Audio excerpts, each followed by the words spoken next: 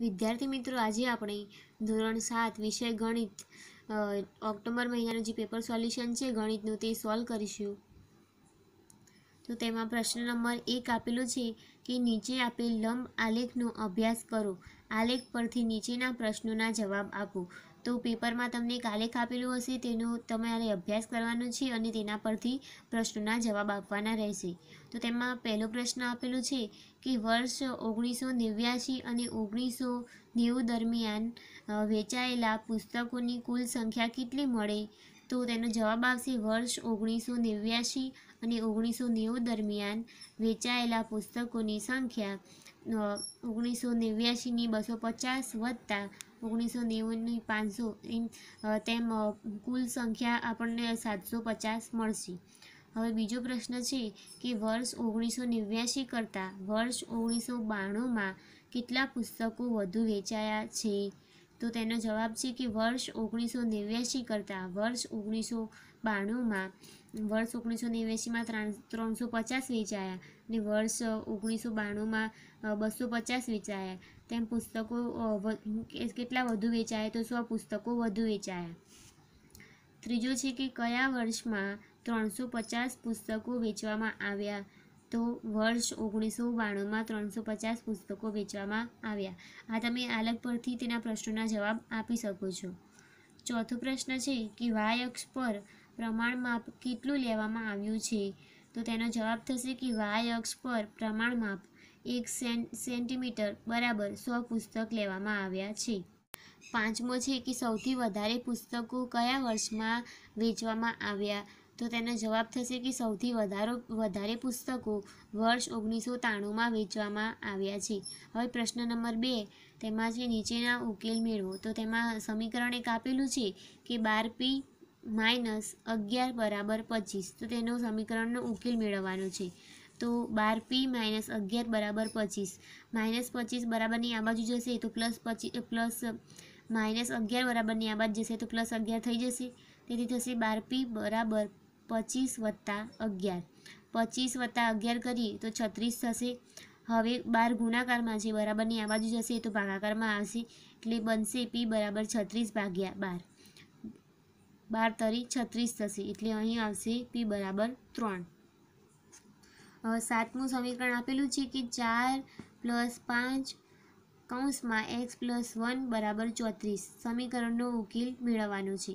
તો ચાર પ્લસ પાંચ એક્સ માઇનસ વન બરાબર ચોત્રીસ. હવે પ્લસ પાંચ પ્લસ ચાર બરાબરની આ બાજુ છે, તો બરાબરની આ બાજુ જો લઈ જઈએ તો માઇનસ થઈ જશે. તો વધશે. આ, અહીં પાંચ આવે. તેથી થશે પાંચ, એક્સ માઇનસ વન બરાબર ચોત્રીસ માઇનસ ચાર. ચોત્રીસમાંથી ચાર જાય તો અહીં ત્રીસ વધશે.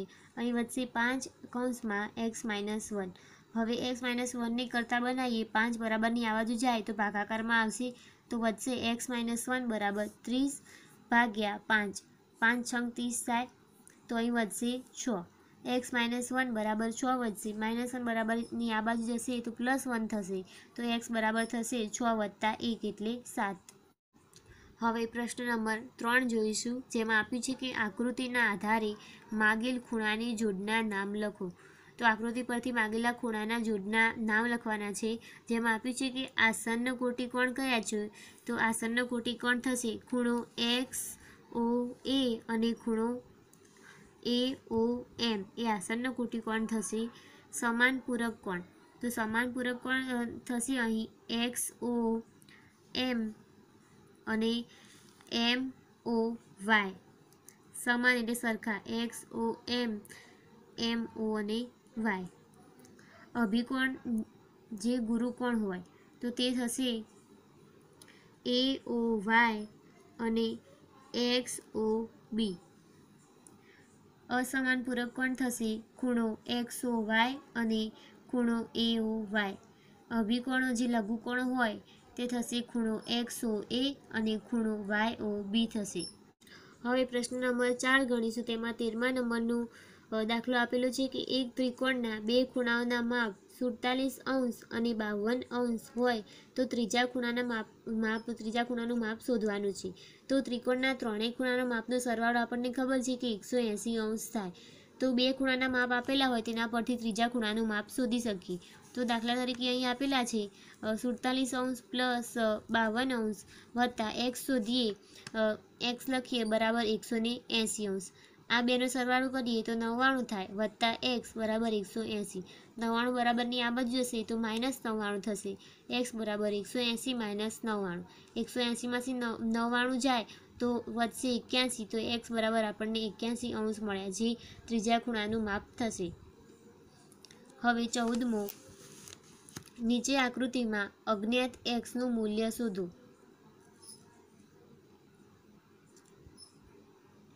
એક્સનું મૂલ્ય શોધવાનું છે, તો અહીં આપણને ખબર પડી જાય કે પી પી કાટખૂણો છે, તેથી પી નેવું અંશનો થશે અને એમનું માપ આપણને આપેલું છે ત્રીસ અંશ અને એક્સ શોધવાનો કહ્યો છે. તો ખૂણો ત્રિકોણ પી એમ ટી માં ત્રણેય ખૂણાનો સરવાળો આપણને ખબર છે કે ત્રણેય ખૂણાના માપનો સરવાળો એકસો એંસી અંશ થાય. તો ખૂણો પી પ્લસ ખૂણો એમ પ્લસ ખૂણો ટી બરાબર એકસો એંસી અંશ.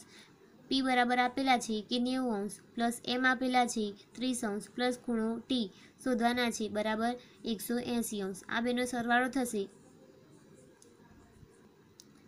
એકસો વીસ થશે પ્લસ ખૂણો ટી બરાબર એકસો એંસી એકસો વીસ બરાબરની આવા જ જશે તો માઇનસ એકસો વીસ થશે. તે ખૂણો ટી બરાબર બરાબર એકસો એંસી માઇનસ એકસો વીસ, બરાબર ખૂણો ટી બરાબર એકસો એંસીમાંથી એકસો વીસ જાય તો સાહીઠ અંશ વધે. એક્સ બરાબર આપણને મળશે સાહીઠ અંશ.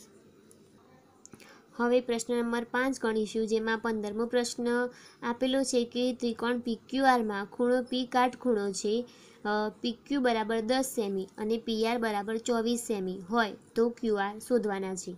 તો ત્રિકોણ પીક્યુઆર રચવાનો છે, જેમાં ખૂણો પી એ કાટખૂણો છે, તો પીક્યુઆર થશે આવી રીતે પીક્યુ પીક્યુ આપણને આપેલા છે દસ સેમી અને પીઆર આપેલા છે ચોવીસ સેમી પાયથાગોરસનો, પાયથાગોરસના પ્રમેયનો ઉપયોગ કરીએ તો કર્ણનો વર્ગ બરાબર બાકીની બે બાજુઓના વર્ગનો સરવાળો થશે. તે કર્ણ ક્યુઆર કહેવાય. તો ક્યુઆરનો વર્ગ બરાબર પીક્યુનો વર્ગ પ્લસ પીઆરનો વર્ગ થશે. તો ક્યુઆર આપણે શોધવાના છે, તો ક્યુઆરનો વર્ગ બરાબર ચોવીસ પી પીઆર બરાબર ચોવીસ આપેલા છે, તો ચોવીસનો વર્ગ પ્લસ પીક્યુ બરાબર દસ આપેલા છે, દસનો વર્ગ. ચોવીસનો વર્ગ વર્ગ થશે પાંચસો ને છોતેર પ્લસ દસનો વર્ગ થશે સો. તો પાંચસો છોતેર પ્લસ સો કરીએ તો છસો છોતેર થાય ક્યુઆરનો વર્ગ બરાબર. હવે હવે વર્ગમૂળ શોધીશું તો ક્યુઆર બરાબર છવ્વીસ સેમી થશે છવ્વીસનો વર્ગ છસો ને છોતેર થાય. હવે સોળમો પ્રશ્ન, જે આપેલી છે રકમ, એક ઝાડ જમીન પરથી ચાર સેમી, ચાર મીટર ઊંચાઈએથી તૂટી પડે છે અને તેની ટોચ ઝાડના થડથી ત્રણ મીટર અંતરે જમીનને અડે છે. ઝાડની મૂળ ઊંચાઈ ગણવાની છે. તો અહીં ઝાડ આપેલું છે જે ત્રણ ત્રણ, ચાર મીટરનું ચાર મીટર ઊંચાઈથી તૂટી જાય છે અને તેની ટોચ ઝાડના થડથી ત્રણ મીટર અંતરે જમીનને અડે છે. તો તેથી થશે ત્રિકોણ થશે. આપણે આ દાખલા તરીકે લઈશું. એ, બી, સી એ, બી બરાબર ચાર મીટર થશે અને બીસી બરાબર ત્રણ મીટર થશે. હવે આપણને એસી શોધવાના થશે. તો અહીં આપણે પાયથાગોરસના પ્રમેયનો ઉપયોગ કરીએ તો કર્ણનો વર્ગ બરાબર બાકીની બે બાજુના વર્ગનો સરવાળો. તો કર્ણ થશે એસી એસીનો વર્ગ બરાબર એબીનો વર્ગ વત્તા બીસીનો વર્ગ. એ બી આપણને આપેલા છે ચાર મીટર. ચારનો વર્ગ વત્તા બીસી આપેલા છે ત્રણ મીટર. તો ત્રણનો વર્ગ ચારનો વર્ગ સોળ વત્તા ત્રણનો વર્ગ નવ. તો એસીનો સ્ક્વેર બરાબર પચીસ થશે. હવે વર્ગમૂળ કાઢીએ તો એસી બરાબર પાંચ મીટર મળશે. ઝાડની મૂળ ઊંચાઈ થશે પાંચ વત્તા ચાર મીટર. બરાબર નવ મીટર. ઝાડની મૂળ ઊંચાઈ આપણને જવાબ મળશે નવ મીટર. જો વિદ્યાર્થી મિત્રો તમને અમારો આ વીડિયો ગમ્યો હોય તો લાઈક કરજો શેર કરજો અને અમારી ચેનલને સબસ્ક્રાઈબ કરજો.